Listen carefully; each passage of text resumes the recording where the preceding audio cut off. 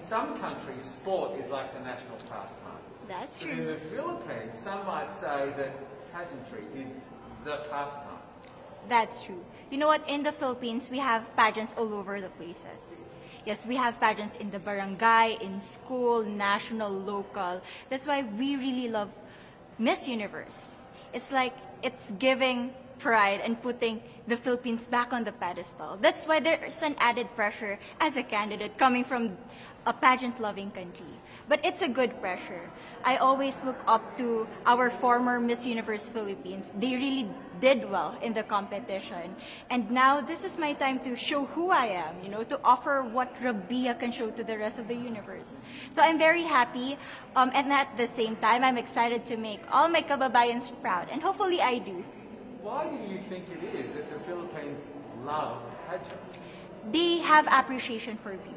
We do love pageant because we, we used to think that um, we wanted to be included in, in the world, you know.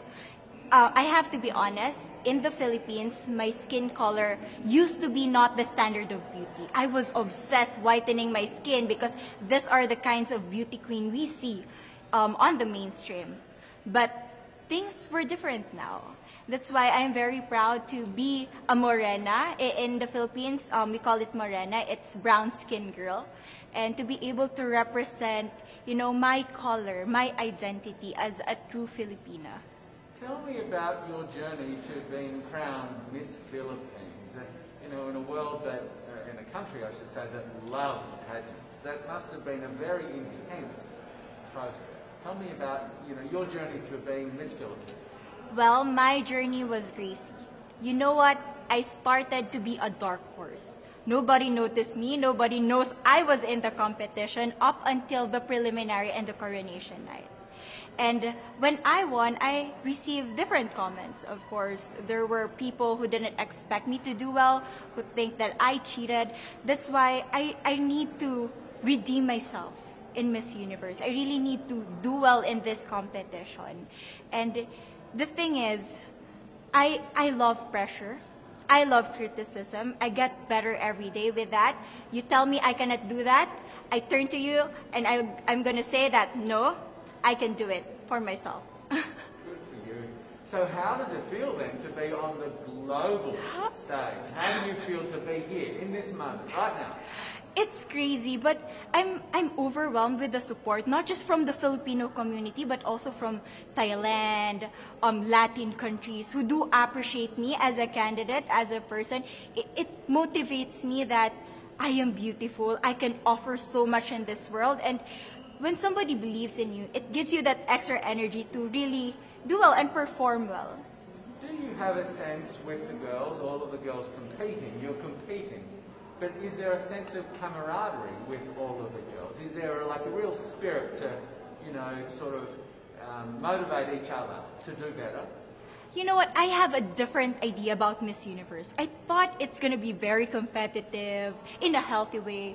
Well, of course. But now I can see every girl helping each other. From fixing those hairs, from trying to zip up those outfits. It speaks of the closeness and the kind of camaraderie that we want to have.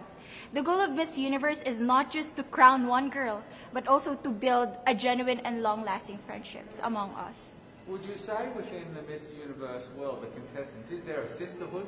Are you sisters?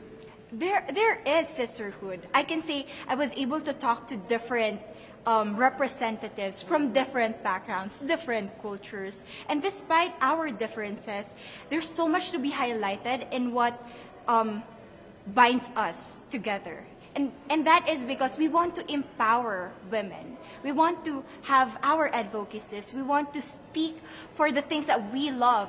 And that's, that's a celebration of women and the beauty that we have. So coming out of this week, obviously you would love to be crowned Miss Universe. Of course. and that, that would be wonderful, of course, for any of you. But what else will you take out of this week? What do you think you'll feel at the end of this week, regardless of the result? How will you be a different person? it's it's the growth and the development that I was able to have during preparing for this journey. I will be honest, there was a moment that I lost my identity because I was put under pressure. I was in that position in which I feel like I'm not good enough. I'm not a good representative of my country, but I was able to bounce back stronger. And if I was able to do that for Miss Universe, I will be able to do that in life. That is my greatest takeaway from Miss Universe. Okay, so the Philippines have huge amount of fans. Yes. I want you to give us a little bit of a message to the fans here and at home. But send a message. What would you say to all the fans in the Philippines? To all my fans from the Philippines and from all over the world, maraming salamat po. Thank you so much for loving me and for believing in me. It means a lot to somebody who is so naive in this industry, who has no idea how to become a beauty queen on the first day of my journey. But because of your love and support, I was able to be the woman that I am today. And regardless of the result, I may or I may not win the crown, but one thing is for sure, I'm gonna make you all proud.